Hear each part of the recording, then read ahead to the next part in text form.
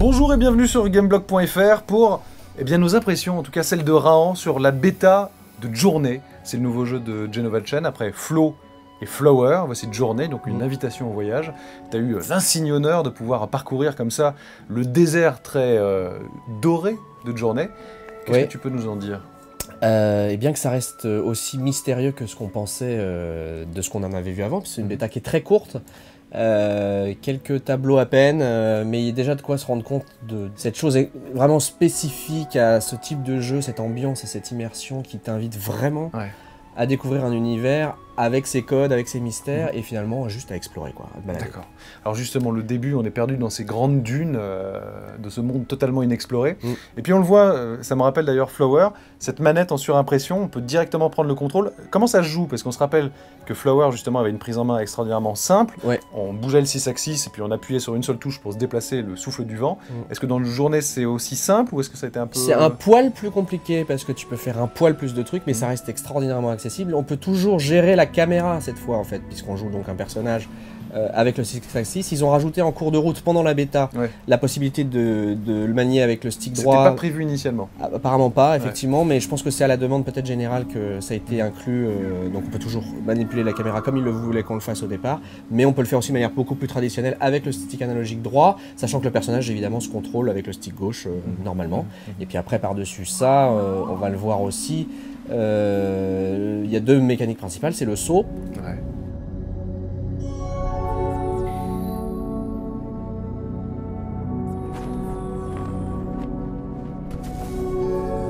et puis l'appel. Euh, qui est un peu que tu récupères un petit peu un, un peu plus tard dans la démo puisqu'au départ tu peux pas faire ça il te, il te, il te donne ces possibilités un peu plus tard quand tu as commencé à voyager un petit peu à explorer un petit Et peu surfer comme ça sur les dunes. Ouais, alors ça c'est marrant comme mécanique parce qu'en fait, soit tu es vraiment sur une dune qui est très en pente et, et tu se mets tout seul à surfer À dessus, glisser. voilà. Soit il y a du vent. Il y a des endroits où il y a du vent et par exemple, c'est un peu comme ça aussi qui délimite l'univers parce que quand tu arrives dedans, comme on peut le voir sur les images, Ouais. t'as l'impression que c'est juste gigantesque en fait et que tu peux aller partout, partout, partout. C'est vrai, mais dans une certaine mesure. C'est-à-dire que si tu repars, comme j'aime bien le faire, tu sais, genre Ouais. je vais chercher un thermos, Chercher un thermos. euh, voilà, par derrière, au bout d'un Ah, moment, si tu nous écoutes. tu- tu montes une dune, et là il y a une rafale de vent comme ça, et tu commences à lutter contre le vent, et, euh, et Et tu donc il te, pas, il te- euh, voilà, il te repousse, après il te remet de- dans le terrain de jeu. Mais c'est quand, même as- c'est quand même très vaste, et c'est justement vraiment un jeu d'exploration, parce que euh, dès que tu commences, T'as euh, un, ray- une- un rayon lumineux euh, au fond du désert où tu sais qu'il y a un truc là-bas, donc tu aurais tendance à avancer tout droit, gravir ces premières dunes et puis aller jusqu'à cette première scène un peu puzzle. Euh, mais si tu décides d'aller par exemple plutôt vers la droite, tu vas trouver des ruines dans lesquelles il y a euh, un certain nombre de de mystères. voilà, activées euh, et une première scène cinématique en fait.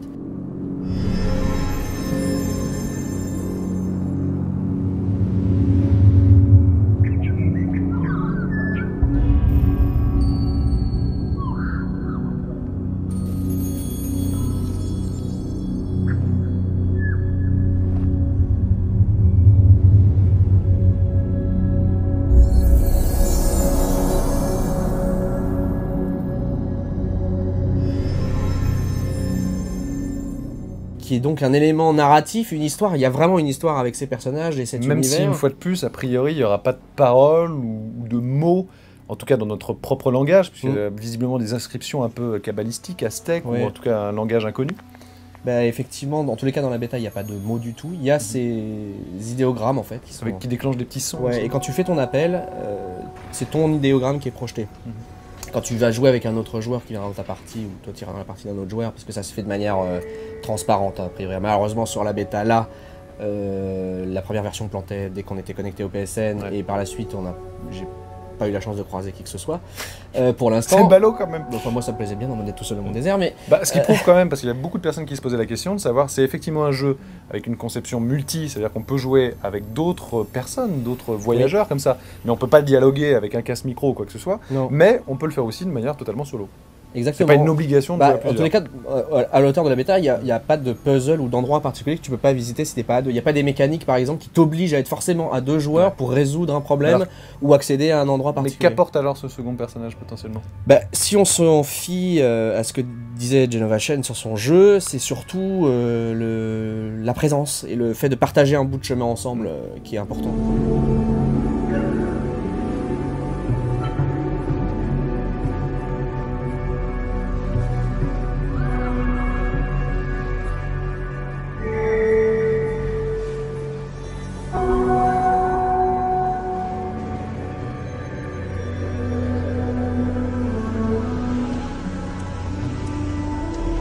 Je suis pas certain que ça fasse fondamentalement partie du gameplay, mais encore une fois, euh, la bêta fait grosso modo une vingtaine de minutes, euh, peut-être une demi-heure si tu cherches vraiment à Ouais. trouver tout trouver.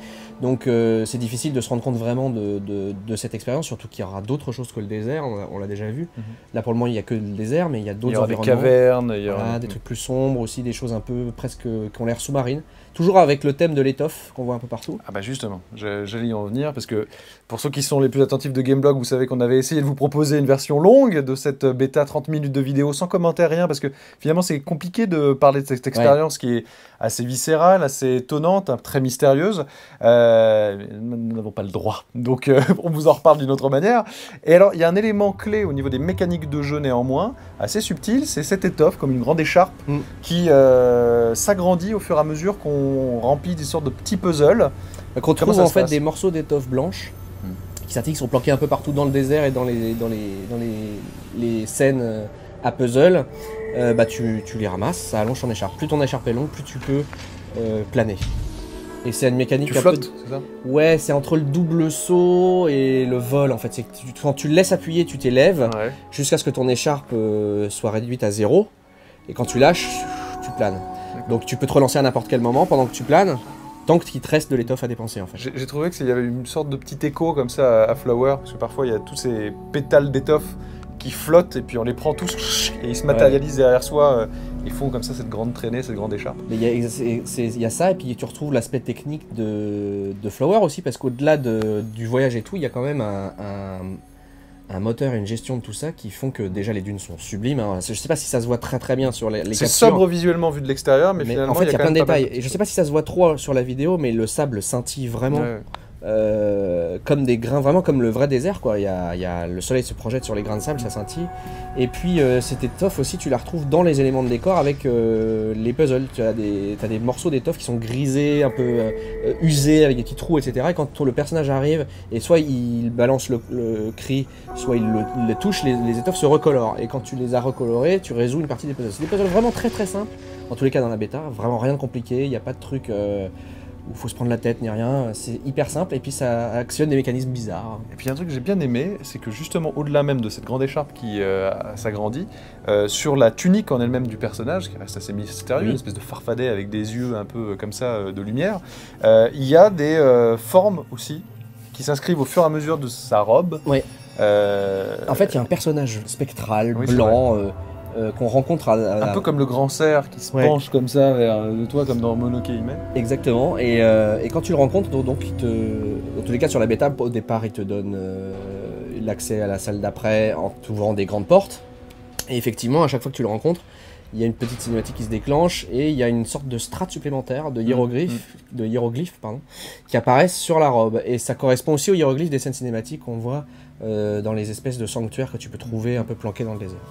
Et qui raconte effectivement l'histoire. Apparemment, donc il y a d'autres voyageurs évidemment. Alors c'est d'autres joueurs humains hein, parce qu'il n'y a pas de, apparemment en tous les cas pour l'instant, il n'y a pas de, de joueurs contrôlés par la console. hein. Si tu rencontres quelqu'un d'autre dans cet univers, ce C'est sera un joueur humain. humain. Voilà.